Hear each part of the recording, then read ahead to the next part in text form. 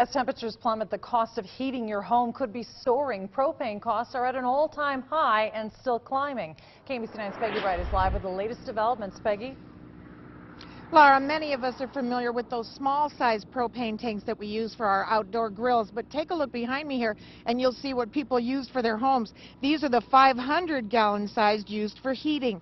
For millions in our country, and most of all rural America, propane is what's used to heat a home. Local suppliers tell us they're paying high for fresh supplies. One company said their costs went up a dollar a gallon overnight.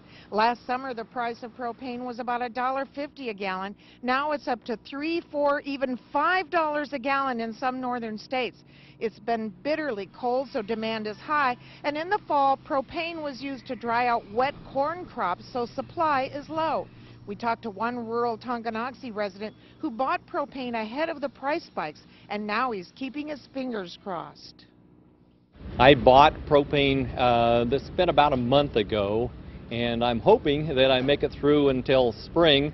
Uh, I'm not sure if I will with the price going up like it has.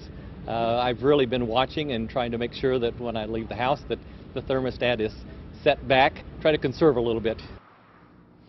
Missouri Attorney General Chris Koster tells us his office has been receiving complaints and is now investigating the soaring prices. We've also seen tweets going to Senator Claire McCaskill asking Washington to look into it as well. We're live in Kansas City. Peggy Wright, KMBC 9 News.